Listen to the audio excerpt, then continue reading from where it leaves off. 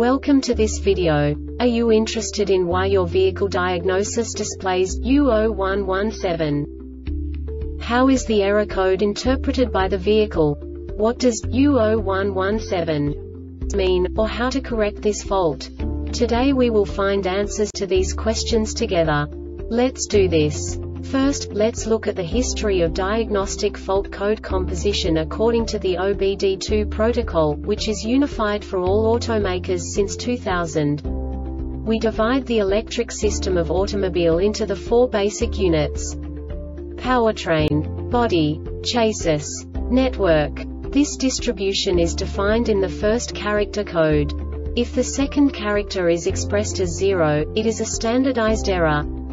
In the case of numbers 1, 2, 3 it is a more prestigious expression of the car-specific error.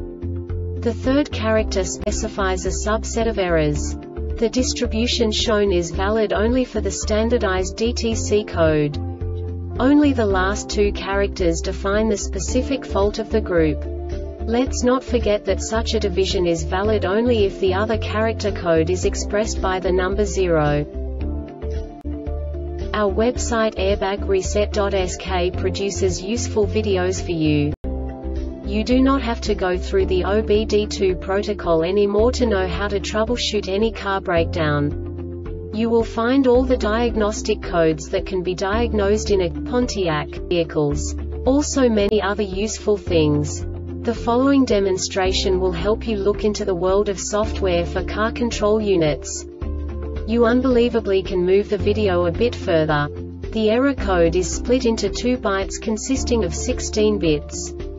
One bit is the basic unit that each computer works with. The bit has two logical states. 0, low level, 1, high level. By combining the first two bits, the basic character of the error code is expressed. The next two beats again determine the second character. The last beat styles of the first byte define the third character of the code. The second byte is composed of a combination of 8 bits. The first 4 bits determine the fourth character of the code. And the combination of the last 4 bits defines the fifth character. A single byte conceals 256 possible combinations.